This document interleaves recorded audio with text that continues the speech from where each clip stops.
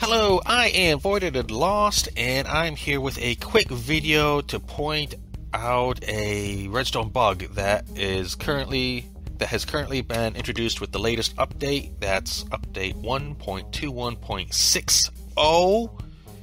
Um, let me let me see if I can't catch it on camera and and point it out to you.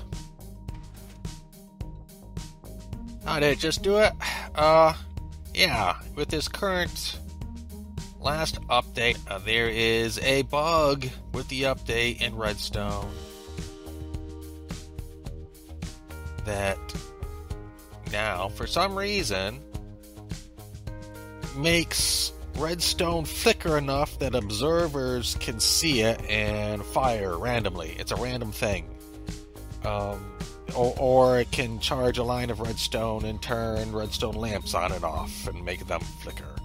So I don't know what the developers have done to Redstone with this last update, but yeah, it is currently a bit buggy and has the potential to, if not outright break, at least make some of the machines a bit less reliable.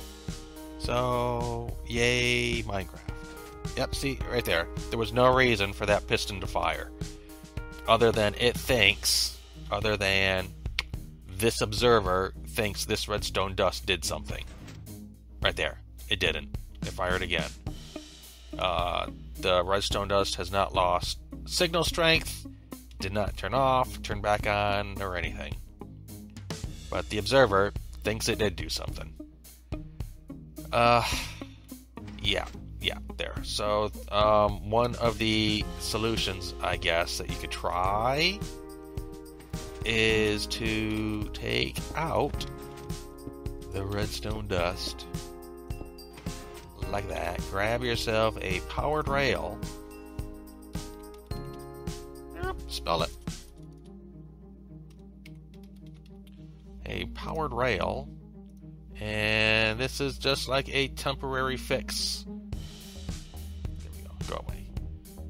Uh, put a repeater here because powered rails are faster than redstone dust for some reason.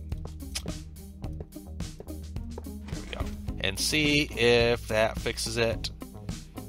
Um, hopefully, there isn't really an issue with powered rails so far I haven't seen an issue, but yeah, just I guess try this for now.